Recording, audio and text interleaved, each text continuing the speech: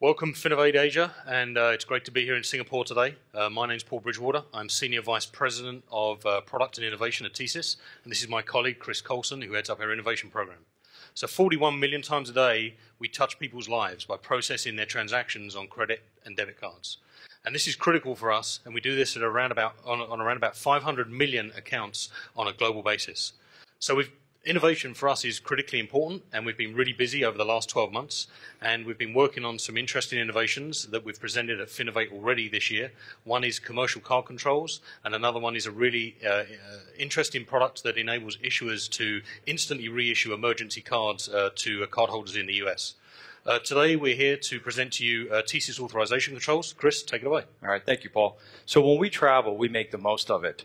And one way that we're able to do that is, is to actually control the parameters on our card itself. So making sure that our cards are on when we want them to be on so we're not declined at the point of sale and also that they're off when we want them off so we can protect ourselves against fraud. So like most travelers, typically the first thing you do when you land is that you'll turn on your mobile device and you'll log in to check your messages, etc. And what happens before you travel? Typically, you have to call your bank and let them know where you are. Well, we're going to reverse that again, putting the controls back into the cardholder's hands. So in this instance, I just logged in and I get an alert from my bank. And what's it asking me? Am I traveling? And yes, I am. So again, making sure that my card works when I want it to. So it's asking me if I'm traveling, would I like to go in and adjust some settings?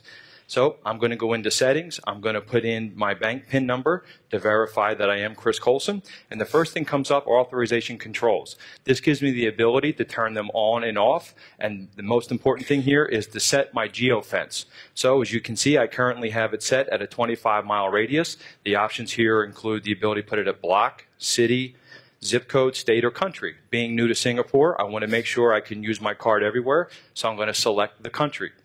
Now you'll see on the map that in fact, anywhere I want to use my card within Singapore, it will work. If somebody tries to complete or initiate a transaction outside of Singapore, it'll be declined.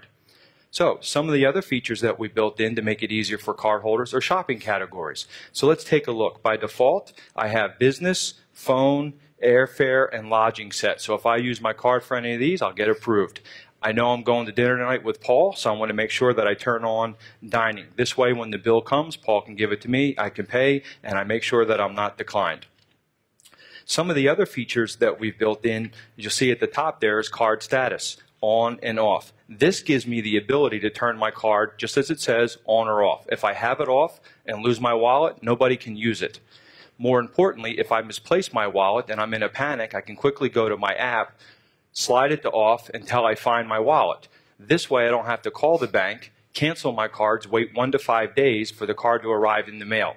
So again, instantly allowing me to turn the card on or off. More importantly, if I, from Monday through Friday, wake up at 7 a.m. and go to bed at 10, I can set the same parameters to say, I only want my cards activated between Monday and Friday from 7 a.m. to 10 p.m. After that, don't authorize anything.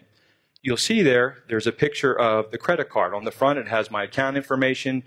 On the back, when people want to use a mobile wallet, let's say, they can't have access to the three-digit code. So we've built that in. So let's click on it. I'll put in my PIN to verify, again, that I am who I say I am, and my three digits appear. So putting control back into the card holder is very important to us.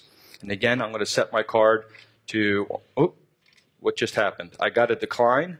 Uh, it looked like something came up um, that was related to something that I wanted to do tonight. Let me go back and take a look.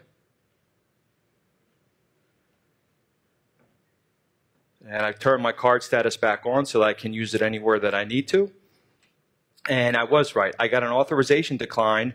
Uh, I had asked my secretary to make sure that she had bought some tickets for me so that I could attend this. I was told this is something you must do while in Singapore.